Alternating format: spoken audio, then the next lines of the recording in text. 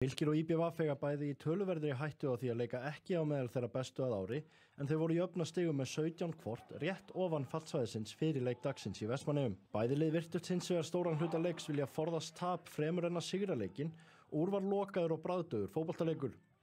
Fylkismenn gáfu aðeins í undir lokin og áttu Óláður Karl Finnsen hættulega tilraun sem Gísmit varði yfir. Skömmu eftir það braut Orri Sveit Stefánsson svo ísinn með hörku skalla eftir aukaspilnu Arnórs Breka Ásþórssonar utan af kanti. Mark Orra döði fylki fyrir sigri í þessum 60 leik og eru þeir 5 stegum frá fallsæti en